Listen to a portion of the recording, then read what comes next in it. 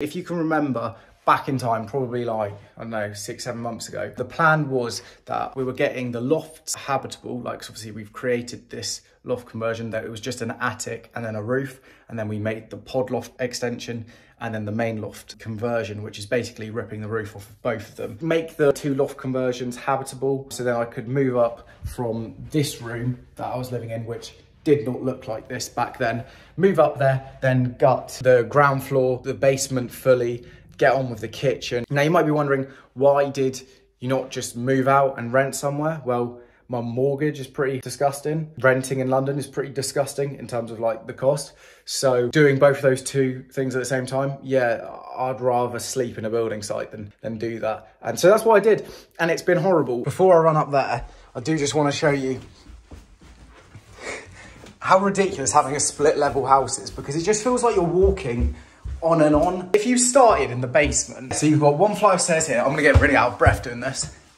So you run up one flight of stairs, more stairs, more stairs. Okay, I'm already feeling myself getting out of breath. But it keeps you fit, that's good. And then everything from this point on, we created. And the stairs just go on and on and on. And it's kind of deceptive, this house. Because when you look from the front, the house doesn't look that big. I mean, it's bigger than a normal terrace house, that's for sure. And it's actually like a metre and a half wider than most normal houses in London, which when that's then applied to then 60 odd foot the front of the house to the back, that adds square metre. And then you add that to every single floor, including the loft conversions. Yeah, you're adding a lot of square metre. And that's why loft conversions, when you've done your research and if the numbers make sense, they can be really, really good for adding value to your property. And in a future video, I'm going to explain to you why adding value to your property can lead to some pretty, pretty insane situations.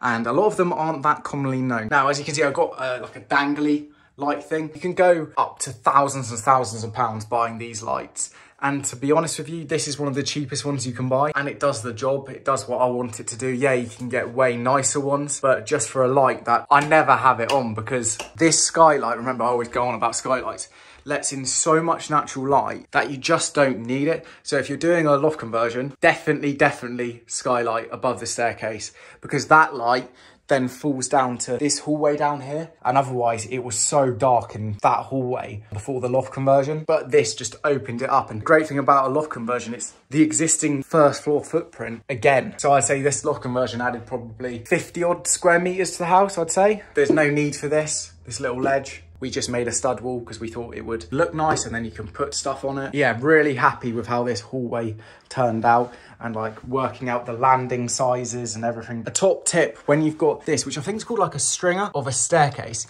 you can just get these little edging bits and it can kind of make it end up looking like skirting. And it's just like a little bit of detail that adds quite a lot. You'll see it in any builder's merchant. You just nail them on. It just makes it look like skirting and then it runs into the existing skirting. And yeah, I think it really adds a lot. So this is double bedroom number four. Super, super happy with how this turned out. So this is a pod room loft conversion. So as you can see here, we are on top of that room below, built basically on the perimeter wall well, a little bit set in. And yeah, most people, windows are a bit dirty, but you can see they only go halfway on loft conversions. That's because they do something silly with planning permission and they use their permitted development too soon and then it hinders them in the future and they can't get the full pod loft conversion. Whereas as you can see with ours, we've gone the, the full extension and we have the biggest house on the road. We also have managed to fit in quite a big sized ensuite. So I'm super happy with how this turned out. It's basically the same ensuite as the room below,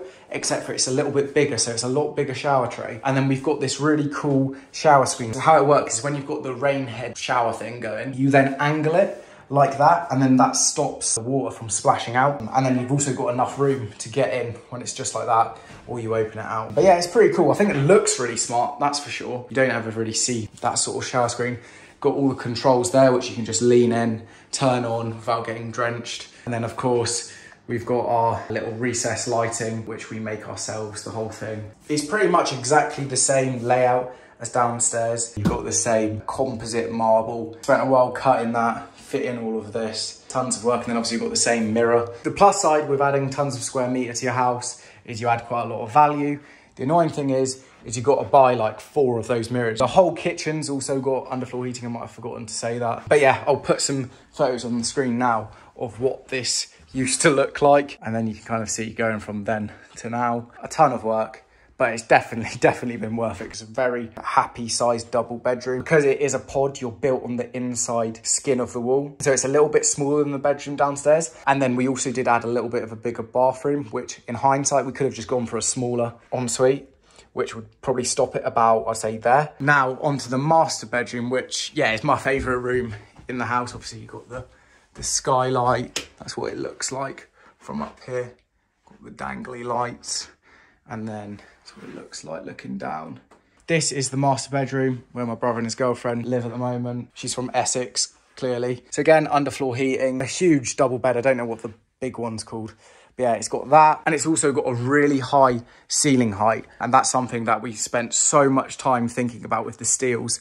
And we've raised the ridge just so we can have this. Like, I mean, there's that much distance above full height doors. I love this room so much. This was the first bathroom that we finished. The amount of thought we put into because we were like, oh, because we're creating everything ourselves, we were like, yeah, let's just do the stud work so it steps back and then let's step it back enough so that that is completely tucked away. So all you see when you walk in is just the toilet. So it makes a better feeling of space. Let's put an LED strip along the entire back of the bathroom. So it creates this kind of glowing effect because otherwise You've got the massive Velux there, and then you've got the massive Veluxes there. That's gonna be super dark down there, so if we just put that strip, it's gonna create like a really nice glowing effect. And then the bath, amount of conversations we had with the bath, because the head height, I mean, you can stand up bloody full head height, right up to pretty much into the bath. But then obviously when you get into a bath, you crouch. Now we were thinking, oh, well, we've got enough space that we can pull it out a lot further, and then it's no problem getting into it. But then it's a loft